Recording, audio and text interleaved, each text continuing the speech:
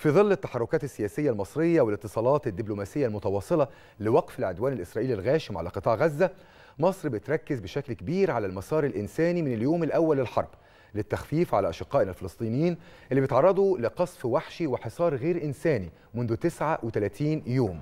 أكثر من 2 مليون فلسطيني بيعيشوا بدون كهرباء أو وقود أو أغذية أو حتى أدوية وماء وأصبحت غير متوفرة في ظل تعنت قوات الاحتلال الإسرائيلي واستهدافها للمستشفيات والمرافق الصحية. عشان كده مصر حريصة إن معبر رفح يكون دايما مفتوح بشكل دائم لدخول المساعدات لأهالينا في قطاع غزة سواء بقى كانت المساعدات اللي بتقدمها الدولة المصرية عبر التحالف الوطني للعمل الأهلي التنموي وحياة كريمة وكمان المؤسسات الوطنية زي الشركة المتحدة للخدمات الإعلامية اللي قدمت قافلة مساعدات لإخواتنا في فلسطين أو من خلال تسهيل استقبال طائرات الدول المنحة عبر مطار العريش. كل المساعدات دي بتمر عبر معبر رفح اللي ما اتقفلش ابدا لم يتم إغلاقه نهائيا. بالعكس مصر حريصة على أنه يفضل مفتوح بشكل دائم وأي عراقيل بتحصل في دخول المساعدات دايما بتكون من الجانب الإسرائيلي. ده حقيقة بنا زي ما بتقولي مصر لم تغلق معبر رفح من اليوم الأول أكدت على أنه هذا هو الدور الإنساني المهم جدا.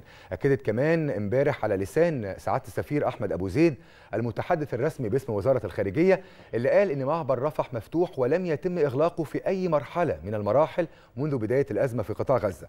وأن من يعيق دخول المساعدات إلى القطاع هو الجانب الإسرائيلي من خلال الإجراءات والشروط المعيقة والمبررات الواهية. على حد تعبير السيد أحمد أبو زيد.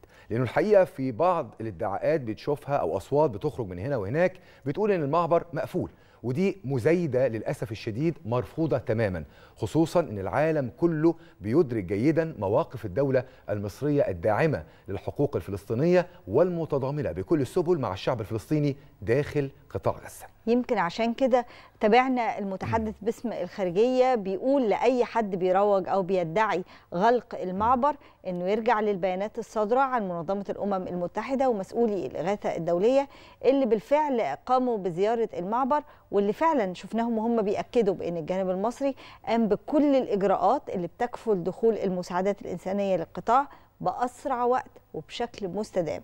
الإجراءات الإسرائيلية اللي بتعوق دخول المساعدات هي السبب في تأخر وصول المساعدات لمستحقيها من أبناء الشعب الفلسطيني الشقيق في قطاع غزة. إحنا على مدار حلقتنا هنكون مستمرين معاكم لليوم التسعة وثلاثين في متابعة تطورات الأحداث في قطاع غزة. مرة تانية صباحكم زي الفل صباح الخير يا مصر.